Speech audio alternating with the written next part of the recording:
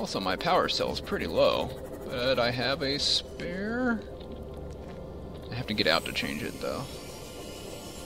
I'm gonna drain this one, though, or at least get it down to below 10% before I mess around with changing it, because I don't have a power cell recharger yet.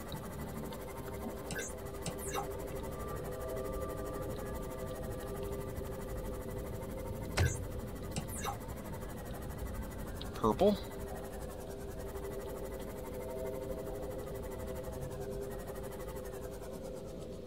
Snakes.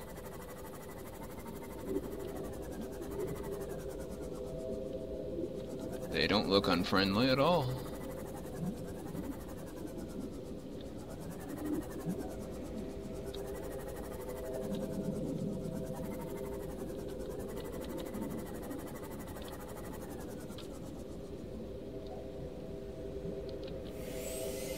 I've got a beacon marking my way out as well as my way in.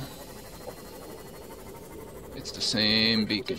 In this cave support the microcosm of unique, possibly predatory, life forms. Try to anticipate unanticipated threats.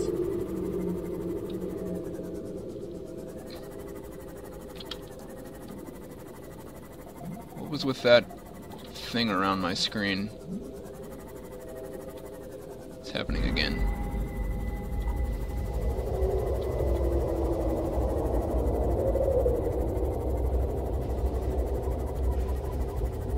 No.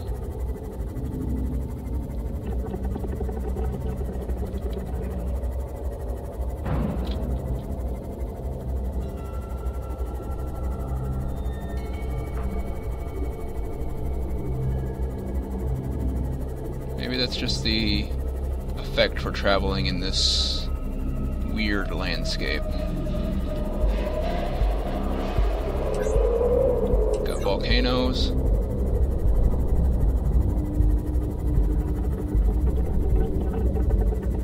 I don't like all these snakes just slip sliding around. They hide in these mushrooms. They don't seem to care about the uh, Seamoth very much. I'm sure they would if I got close enough.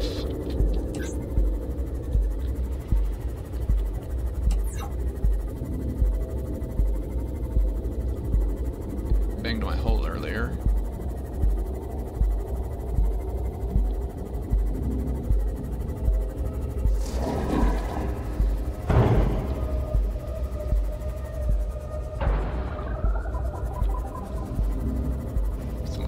peeper.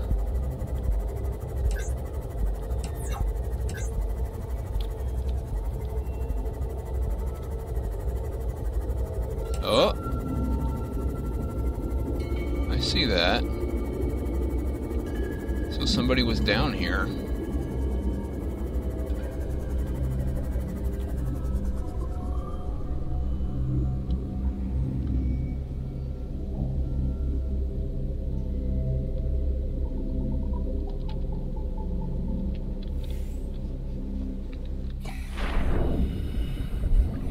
This work? Oh, no, it's broken.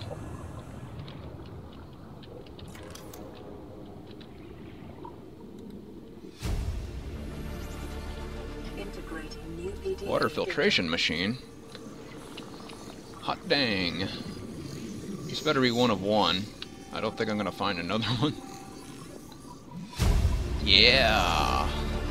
New blueprint acquired.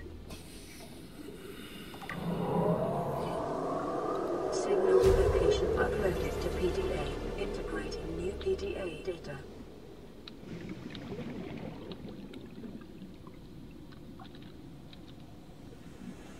All these dangerous wall hangers. Ow.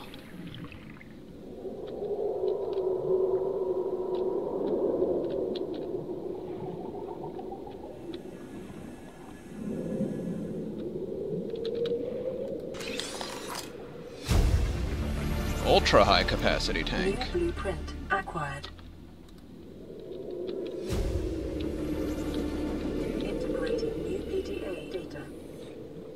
Oh, can I just swim out this? No. Okay. I should leave and get some air and come back.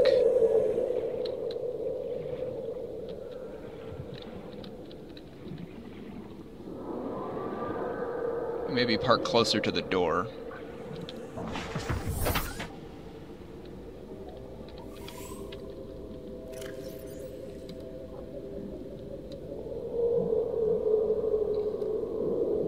Also modification station. Enhanced maneuverability. Maneuverability, excuse me. Additional capacity. And uh, this aerogel again. I gotta find some more of that slime stuff.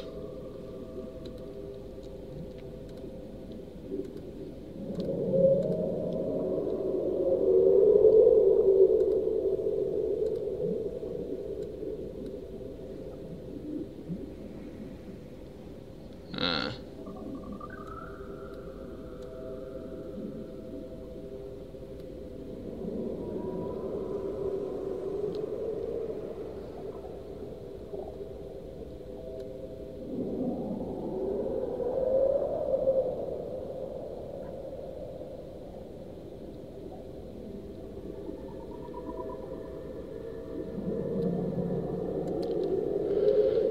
Thing. I don't know. I found it outside in the sand. Part of another ship?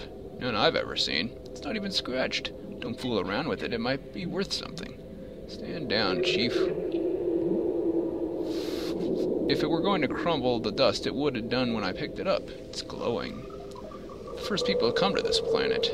People, maybe. Could be aliens. Could be the darned sea monsters for all we know. One thing's for sure. We're gonna find out by staying here in the water filtration system. Any liquid. Oh my. So those snakes don't like it when you get near their mushrooms, basically, is what I gathered from that log.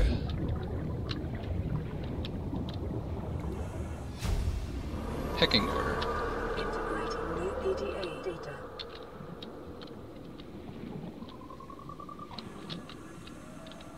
Eh, be through. And up.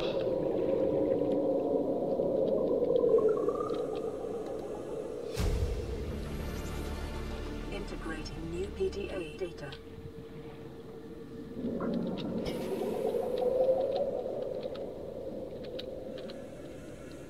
Let me in.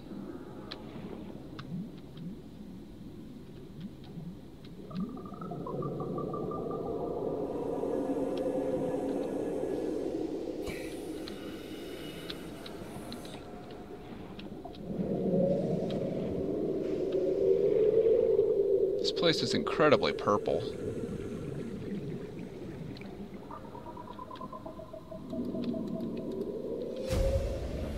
Deeper? Integrating new PDA data. I don't think that's possible. This ah is too deep already. Jeez, that hurts. Okay, it comes back. Okay. Just don't cuddle with them too long.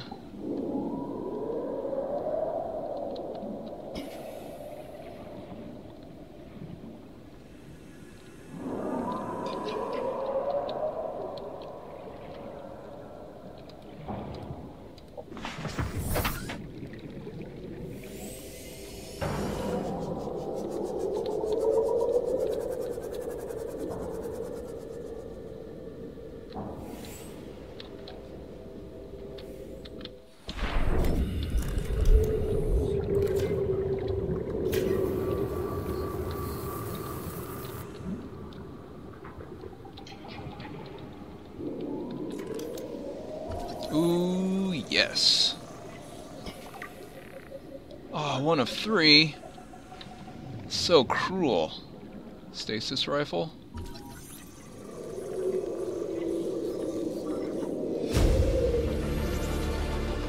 New blueprint acquired. There's usually more than one piece of a thing. Oh, take it.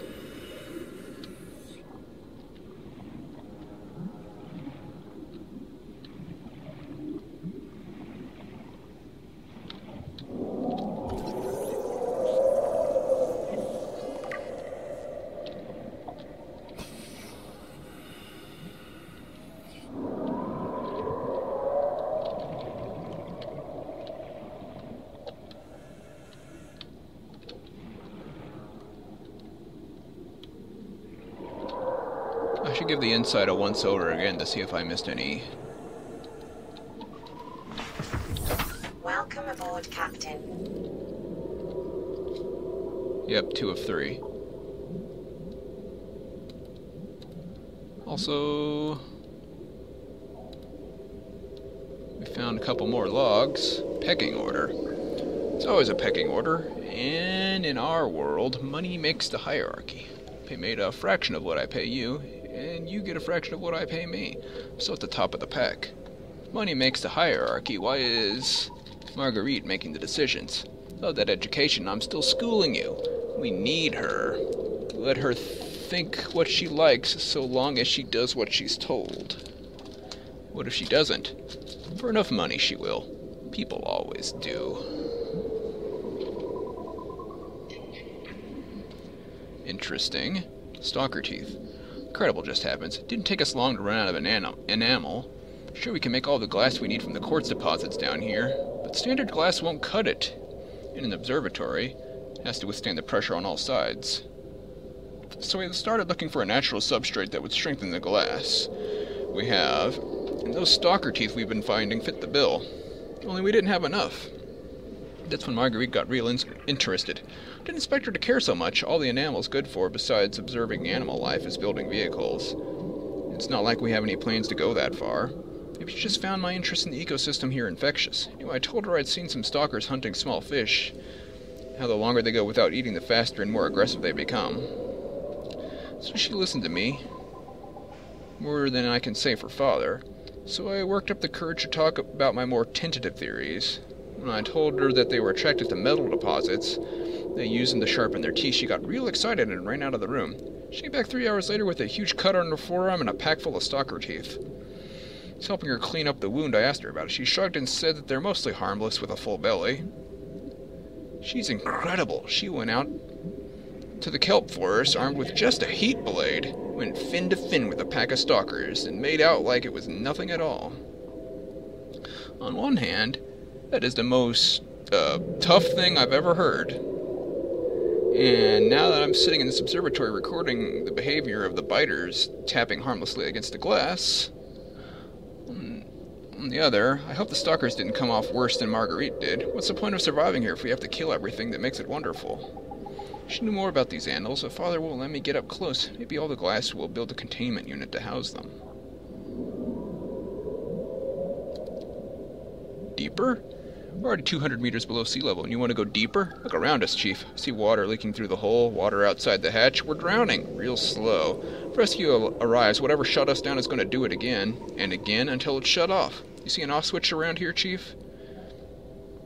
Why would it be anywhere likely to be a half a kilometer down? Your kid found some weird readings. There's something down there that shouldn't be. You're mad. That may be, but I'm going all the same. And I have an idea, or you two are going to follow. If you do, be mindful, your authority stopped at sea level. You know what Maida told me yesterday? She wants to build a habitat 500 meters below sea level, more than a kilometer northeast of here. She needs Bart and I to do it. She got it into her head that she could save us if she act, just acts recklessly enough. I've all the star walls to Neptune, Plasteel to the Federation. This family operates nine different mining colonies across the Ariadne Arm. Maida thinks she's better suited to lead. Her contract still says otherwise. But I just cannot tell whether it's the stupidest idea I ever heard or my only hope. I turned 80 years old last week. I thought I had another 80 in me, but marooned on this planet, there's no swapping out my liver when the old one fails. Here, I'm mortal, and Maida is useful to me. So it's my responsibility to make a decision.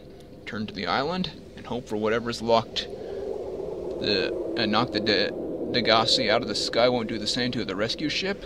She gets deeper in search of answers.